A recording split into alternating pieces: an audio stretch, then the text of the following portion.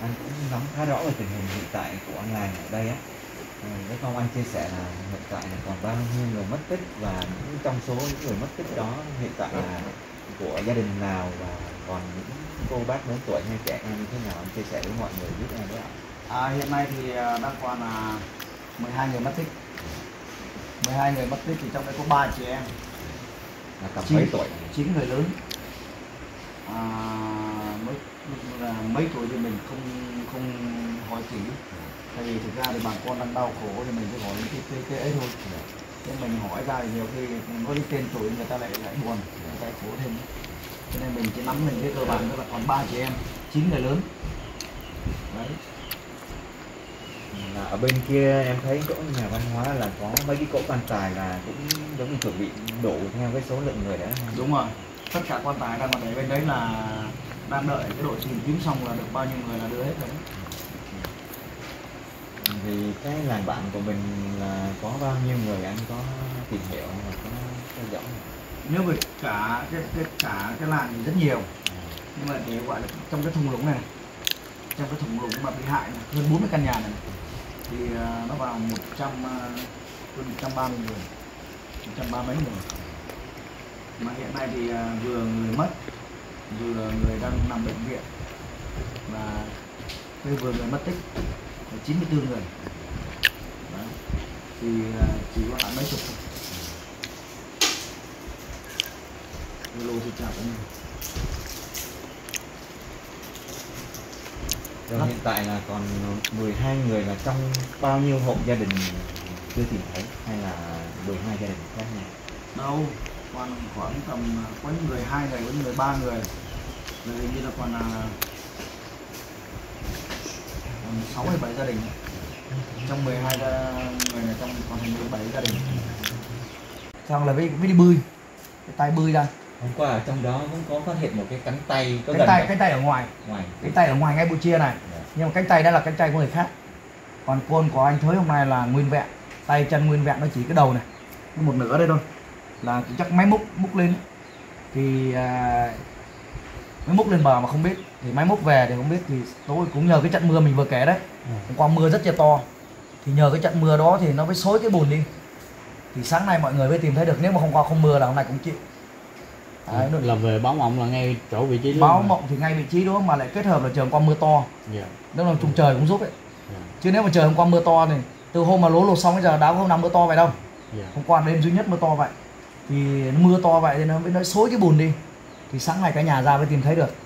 Thì sáng nay là mình đang livestream ở đây thì cả nhà đi tìm thì mình cái câu chuyện sáng nay cũng mình cũng bị sập like ấy. Cũng vì cũng vì livestream cái chỗ đấy mà bị sập mất một kênh. Xong mình mới lập cái kênh mới này là mình like chứ. Dạ. Đấy. thì à, vừa mới đang nói chuyện thì bên kia điện thoại là báo thấy sạc rồi. Thế là mình chạy qua đấy. Ừ, mình chạy qua đây cùng với bộ đội luôn. Sáng sáng sớm mà sáng mơ mới tinh. Dạ đúng rồi.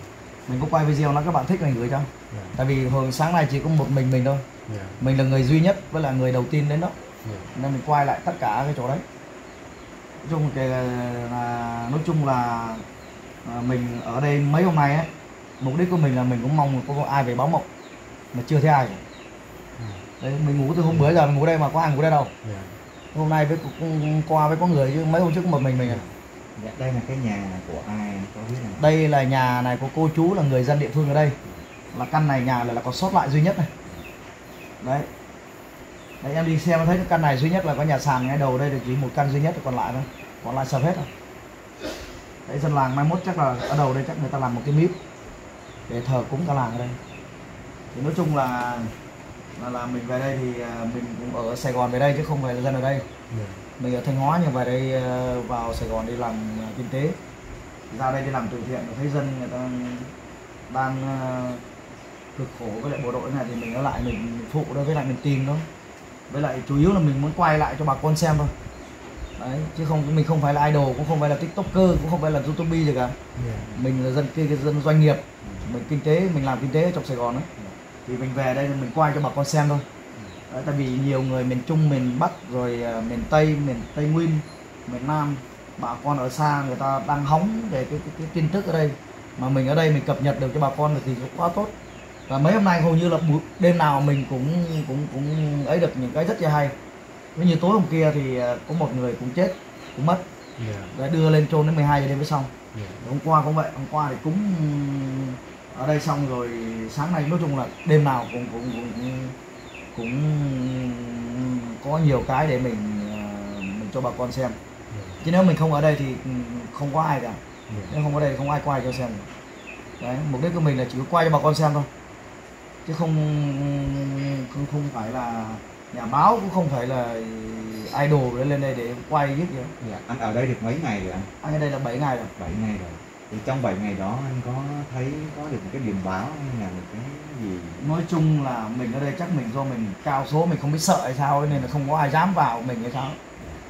Ngay cả chủ nhà người ta cũng đã dọn đi qua chỗ khác người ta ở. Chủ nhà đâu dám ở đây đâu.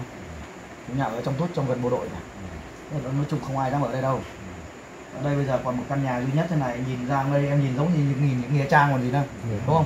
Từ chỗ này cái chỗ mà mình vớt xác đây thì cách cũng có hai chục mét chứ mấy đúng không? Cái này xác cái này này trôi vào đây quá trời này cách có hai chục mét chứ mấy ngay cổng này. Rồi mấy mấy bữa trước em không đến đây nhưng bây giờ quan tài với người xác ở đây đầy ở đây ngay cổng này. Dạ ai dám ngủ ở đây? Mình cũng mình cũng rủ mấy anh youtuber với lại mấy anh uh, livestream vào ở đây mà có ai dám ngủ đâu. Không ai dám ngủ. Sợ. Dạ nói chung là mấy hôm đầu thì được cái là mình à, mọi người trên đường lai ai quan tâm, cái sợ mình có chuyện gì. Được cái là mình nghĩ trong bụng thế này này, người dương này sao thì người âm vậy, đúng không? Như anh em mình đến đây, anh em mình hỗ trợ bà con, anh em mình đi làm việc tốt mà. Mình có có có đụng chạm gì đến người ta đâu. Mình đâu có có làm gì ác với với người ta đâu, đúng không?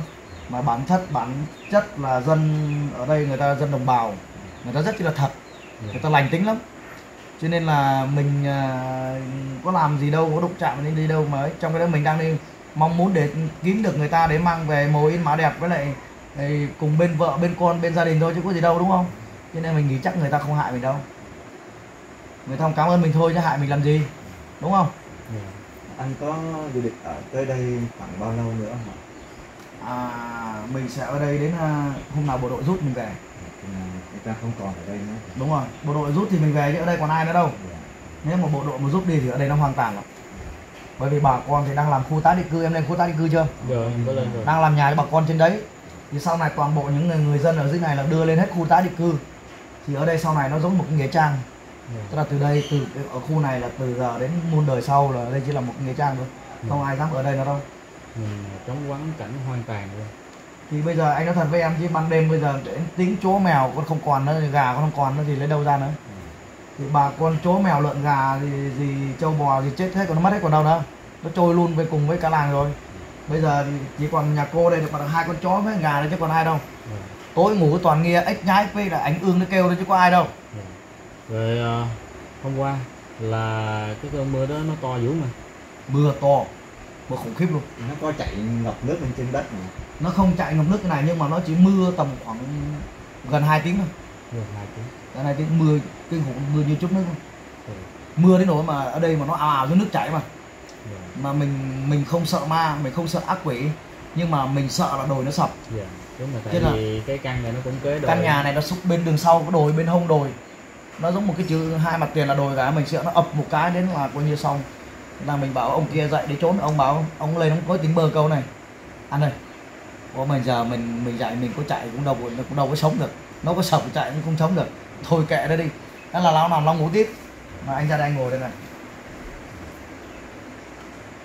Cô còn đang xem lại ảnh nữa. Không? hình như hết pin sao? Mà à, không phải. Bối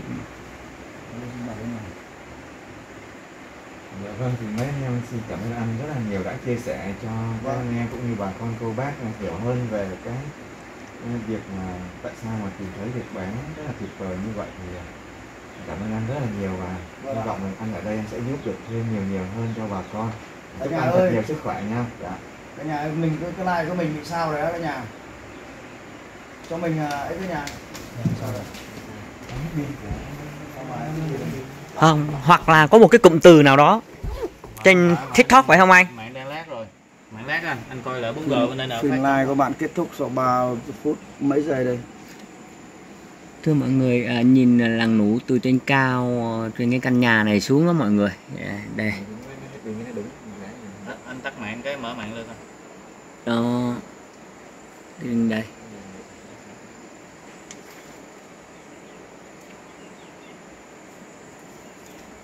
thấy cái gì nữa luôn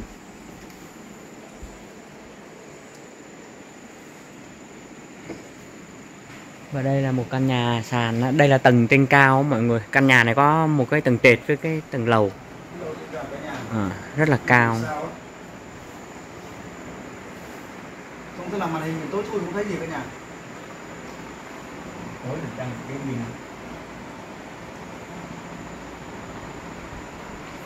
tức là mọi người thấy bình thường nhưng mà màn hình của mình không thấy cái gì ạ?